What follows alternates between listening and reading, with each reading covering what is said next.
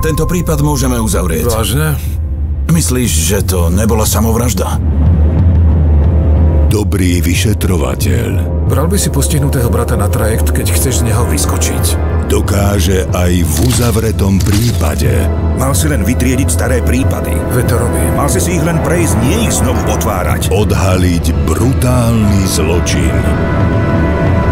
Šokujúca škandinávska detektívka Žena v klietke v sobotu o 22.40 na Jojke.